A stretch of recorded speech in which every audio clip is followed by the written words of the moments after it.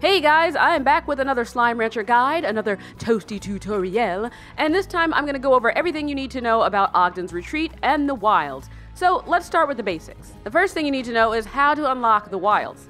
Number one, you have to unlock the Moss Blanket. Number two, you have to unlock the Overgrowth. And three, you have to complete at least one trade on the exchange with Ogden Ortiz, who is the character that was introduced earlier that actually owns the retreat and who you'll be trading with once you get to the wilds. Once you've done all three, you should receive new star mail from Ogden Ortiz with the subject Partnership. And that star mail is him inviting you to come and join him at the retreat. And once all of that is said and done, it's going to unlock a new teleporter right off the ranch before you get to the overgrowth in this little corner. And this is the teleporter that will lead you to Ogden's retreat and subsequently to the wild. So let's head there now. Now, once you get to the retreat, you're going to notice a couple of things. First is the fact that there's an exchange here with Ogden's face on it. And here is Ogden's retreat right here, though you cannot actually go into it the way that you can go into your own.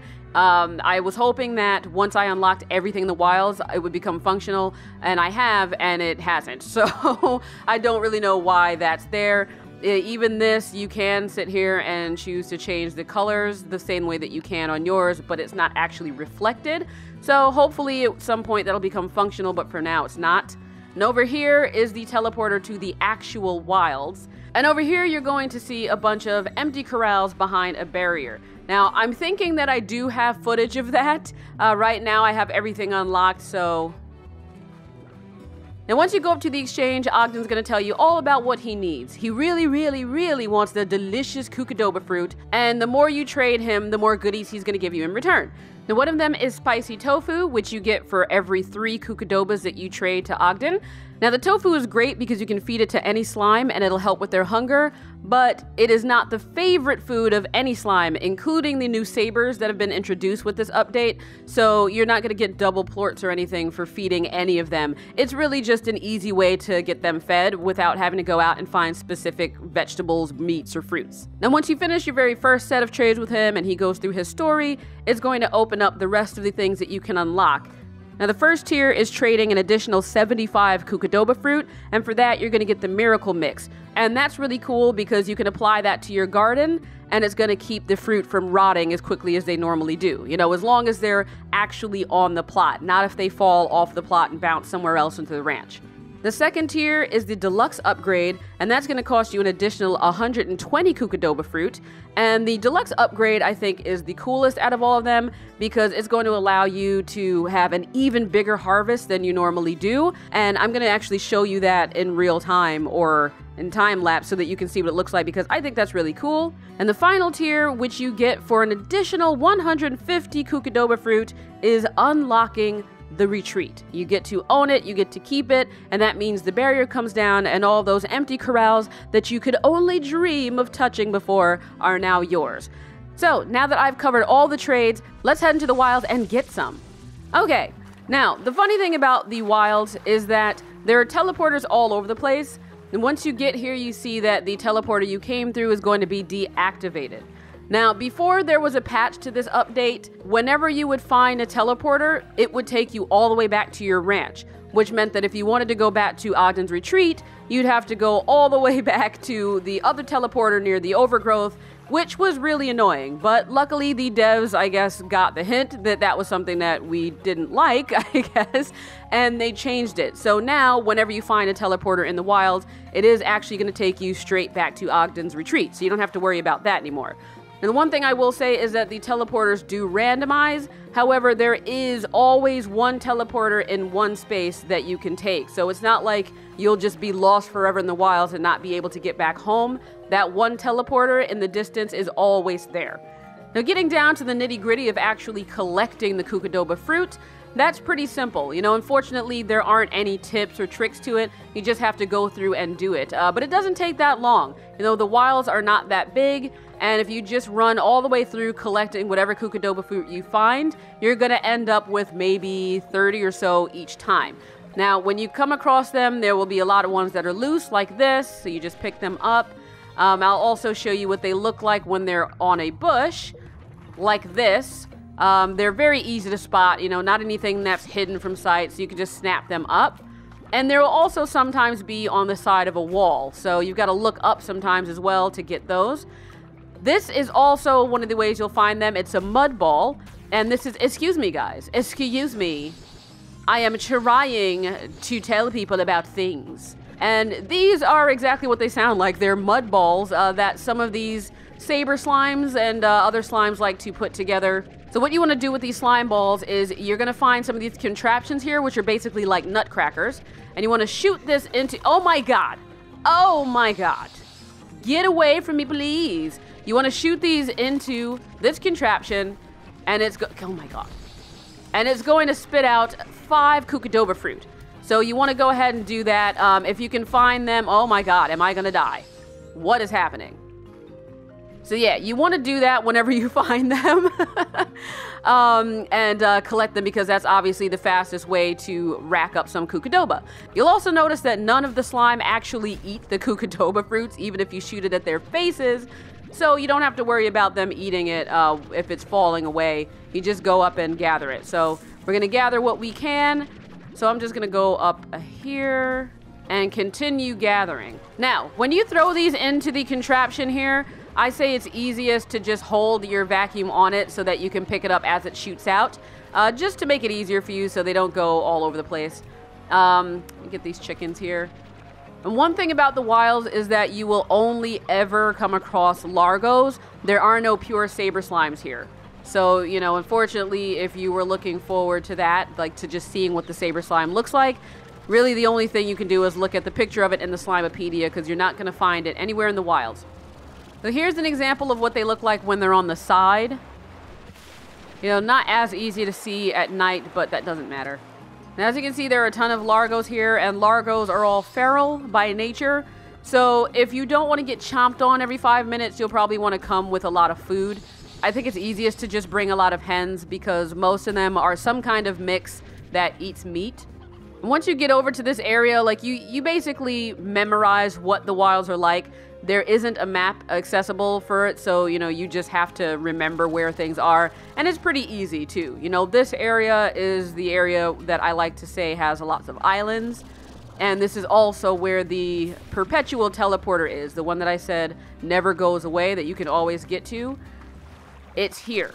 Okay, it's on the back of this. Uh, again, I can't show you on the map because the map isn't accessible, but that just gives you an idea of what this area looks like.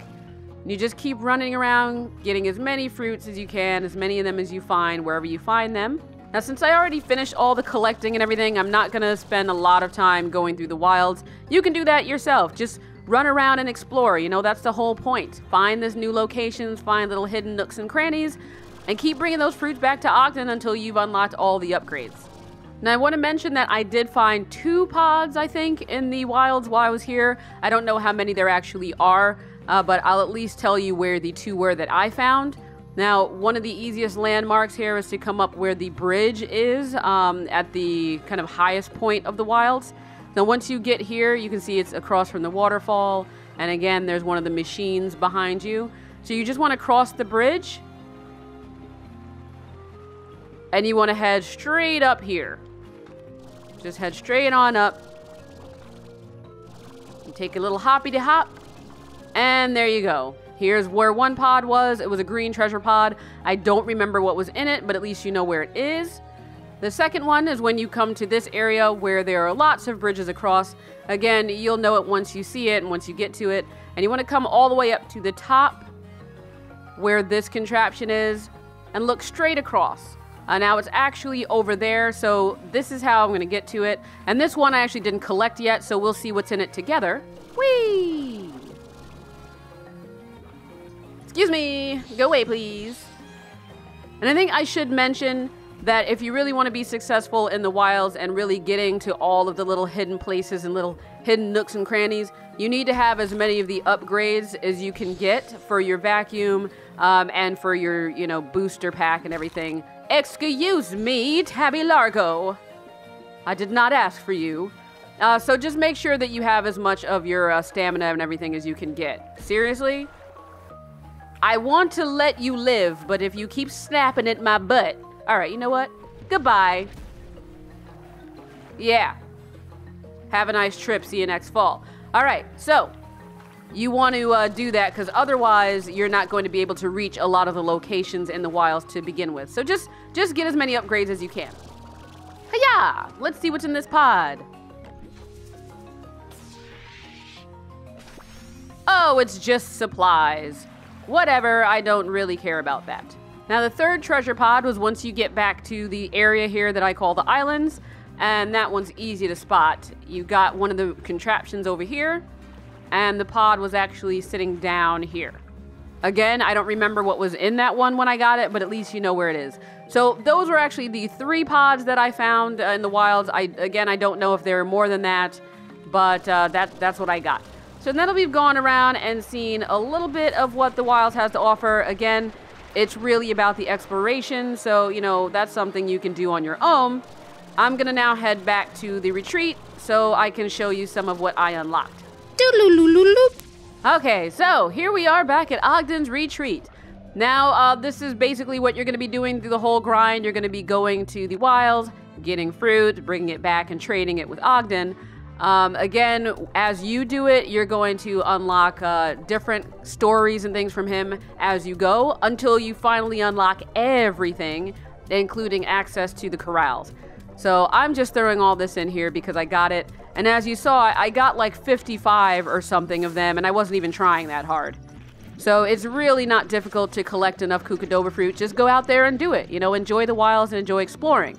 Now, once you do all of that and you unlock everything, and the barrier comes down, you get all the wonderful corrals to play with. Now, this is what I chose to do with this area. I chose to make it the area for my uh, Tangle mosaics because I like having my slime free roam and I just think they're so pretty. And I also decided to just put two ponds here and then uh, some of these fruit trees, which they don't actually eat. They only eat veggies and meat. But I just really love the color of the uh, mint mango and I just love the way the trees look. They're my favorite ones in the game. So that's why I put it there, even though I can't feed them with it. I don't care uh, because I carry meat with me when I come. So here, eat, eat and have your fill. And of course, you can also feed them the spicy tofu because, again, they will all eat that. It doesn't matter who they are. Go ahead, yes, eat, eat. They'll just all eat that and happily not say anything about it. Spicy tofu, spicy tofu for all. Uh, and also, these trees um, are trees that I built and I just put here. So uh, don't think that those are actually here. Um, these are just, again, some of my favorite trees. These yellow ones and uh, the pink ones, I think, I also really like. So this was basically just me sprucing this place up. Um, I also added some silver parsnip here to feed them uh, because the silver parsnip is the mosaic slime's favorite uh, vegetable. And then over here, this is the rest of the area that you couldn't get to before. So you see you've got a little hut here, which is just for decoration because, you know, you can't go in here, obviously. But what it does have is a little toy machine because these saber slimes do actually have a toy that calms them as well. And since you can't bring toys through the teleporters, really this is the only way that you're going to get one to a saber slime is to unlock this area and then add some saber slimes in here and then check out the toy. Now, I don't know what the toy is. I never bothered looking at it, so let's go through. Mm-hmm. We've seen all of these. Rubber ducky, crystal ball, stuffed chicken. A Stego buddy. Oh, so cute. So this one is for the saber slime. Let's purchase it and see what it looks like. Oh, look at you! That's cute. Oh, that's nice. Now, none of my slime here are going to use it because I don't actually like the way the saber slimes look. um, so I just, I haven't used them. But I think I am going to end up doing another fashion show just for the saber slimes so you can see what all their largos look like. Uh, but for now, these are my uh, some of my favorites, you know, the Tangle mosaics. So they're who I have occupying this area. And you can come down here to check out what's left of this uh, area that you unlock. And there's a final pod right here.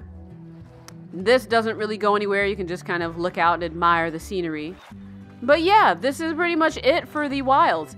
Now, before I end this episode, I'm going to head back to the ranch because I want to show you what the Miracle Mix and Deluxe upgrades look like on a garden. So let's head there now. All right, so I am back at the ranch, and I actually went ahead and demolished one of my plots so I can show you this from scratch. Uh, so here we are, and I had the prickle pear in here. So we're going to go to activate, and we're going to choose garden because I want to plant a tree. Now we're just going to go ahead and stick this bad boy in there. And look, Look at it grow. It's so cute. Ah, such a beautiful tree. But we've got to apply some of the upgrades. Now, the nutrient soil and the sprinkler um, are things that we already had. So I'm going to add the sprinkler, okay, and that's going to make sure that everything's watered and it grows, as you can see, twice as fast. Put that in. So look at that. That's sprinklers. Now let's check out the next one. Um, and that's the nutrient soil, okay? And that's going to make them yield the maximum harvest. So instead of it, you know, just yielding whatever it does, kind of, I don't know if it was at random or not, but at least it wasn't consistent. Now you're always going to get as much out of your, you know, garden as you possibly can. So let's purchase that. And you can see that that adds like these little crystals in the soil. So you know they're nutrient rich. Uh, now let's go in here and check out the important ones, which are the ones that you unlocked uh, after doing all the trades for Ogden, and that's the Miracle Mix and the Deluxe Upgrade. So the Miracle Mix, um, again, that one's just going to make it that much longer for the fruits and uh, vegetables and everything to rot. So let's go ahead and get that. And you see it adds this beautiful like swirl pattern to the soil and it's even a little bit glowy, a little bit incandescent. Um, I love that, and it looks really beautiful at night. So let's just take a look at that. And again, you know, once you have this, your stuff is pretty much not gonna rot. so, you know, if you had an issue with that, then you're gonna love the Miracle Mix. But finally, the deluxe upgrade, which in this case is going to add two more trees um, because it's just going to increase the number that you can harvest. So let's purchase that. Ha-pa-chow! Woo! Look at that! Look at that! Wonderful. Now we've got three trees instead. Don't really need that many, but at least you can see what it does. So you are not going to be hurting for crops at all uh, once you get all of these little upgrades for your gardens. Trust me, you're going to have fruits and vegetables coming out of the wazoo, and you're going to get sick of them. So that was it for that demonstration. Uh, let's head back to Ogden's retreat to wrap things up.